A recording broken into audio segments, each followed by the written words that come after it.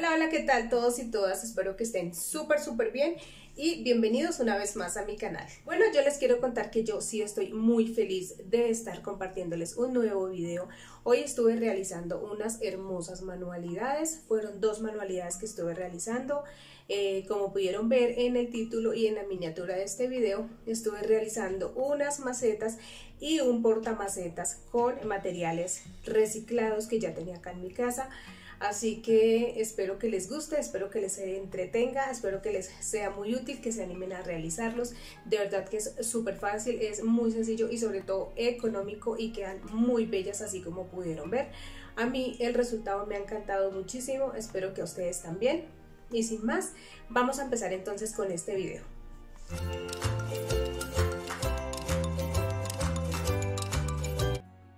Listo chicas, vamos entonces a empezar. Voy a usar en esta ocasión tres palos. Debo tener como una docena, les cuento, pero en esta vez voy, creo que con tres palos es suficiente. Voy a, voy a realizar dos portamacetas de diferentes tamaños, así que voy a usar una regla para tomar estas medidas y por supuesto un lápiz.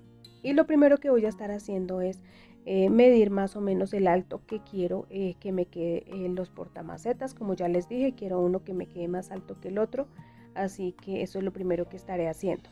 Luego lo que voy a estar haciendo es cortar los palos con una cegueta. Este proceso por supuesto no se los voy a mostrar porque ustedes ya saben cómo es, así que listo chicas.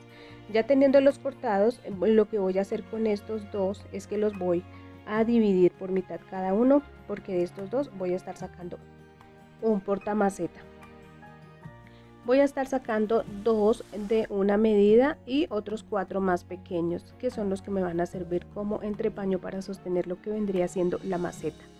Listo ahora que ya los tengo todos listos voy a utilizar una lima para pulir eh, estas partecitas donde pasé la cegueta para que quede pues eh, muy pulidito y que no nos vayamos a lastimar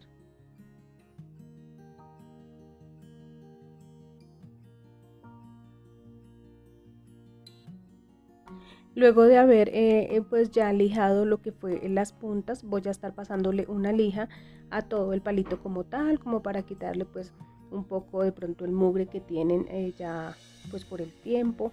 Y para que me queden limpios para proceder a pintarlos voy a estar primero que todo aplicándoles una capa de pintura en color blanco mate porque después les voy a estar colocando una pintura dorada así que quiero que el blanco me ayude pues a que la otra pintura quede muy bien fijada y con mucho brillo voy a estar usando esta pintura blanca y voy a estar pintándolos con un pincel. Y bueno chicas y aprovecho este momento para invitarlas a que se suscriban a mi canal si aún no lo han hecho así que eh, aquí en la parte de abajito de donde está el video ahí aparece el botoncito rojo donde dice suscribirse para que vayan y pinchen ahí y queden suscritos a mi canal. Listo chicas ya tengo todos mis palos listos. Los quería pues con una pintura blanca como de base ya como les había dicho. Voy a empezar a pegarlos para darle la forma que quiero y voy a estar usando este pegante eh, que ya se los había enseñado en una eh, manualidad que hice anteriormente que me pareció muy muy bueno para pegar madera. Así que voy a empezar a armar lo que son eh, los portamacetas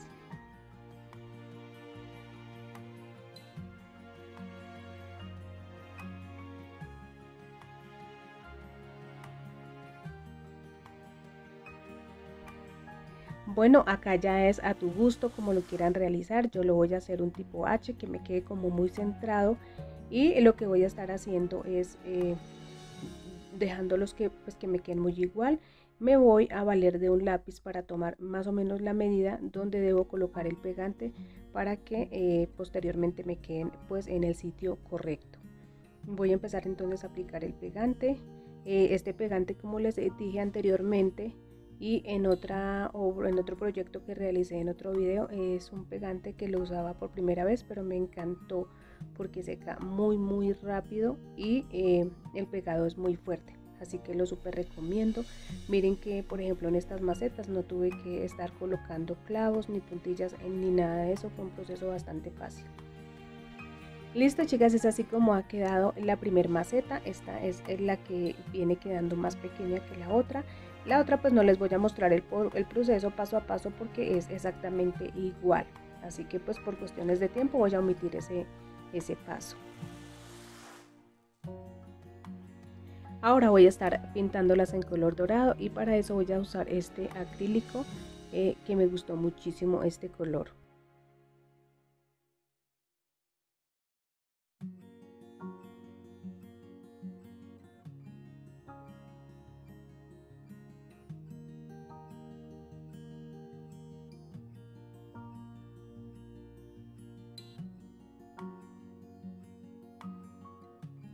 Listo chicas, es así como han quedado las macetas, una más grande que la otra, así me pareció que quedaban lindas. El color que les estuve aplicando me encantó.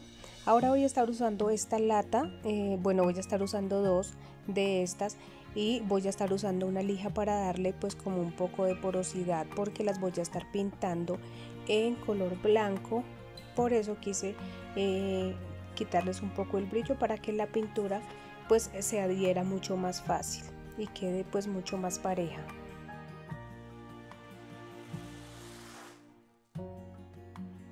Luego me voy a estar valiendo de unas pinzas para quitarle como el filo que tiene acá interno, así que lo estaré doblando como hacia la parte de adentro para evitar pues eh, cortarnos. Voy a estar usando esta pintura que ya se las he enseñado en, varias oportunidades, me parece muy buena y voy a estar eh, pintando lo que es la lata. Y les cuento que a esta estuve eh, colocándole tres pasadas de pintura para que me quedara pues muy muy pareja y blanca como yo la quería.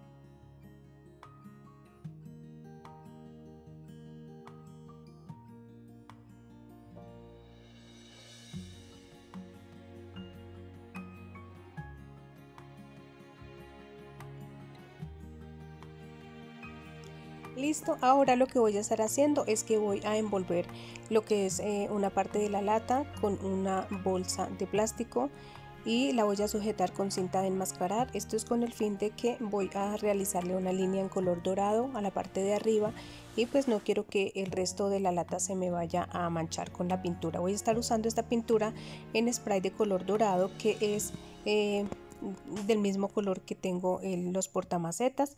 Eh, ya saben que me encanta el color dorado y el color plateado, así que esos nunca me harán falta en mi casa para mis proyectos. Además que son súper fácil de aplicar y secan muy muy rápido.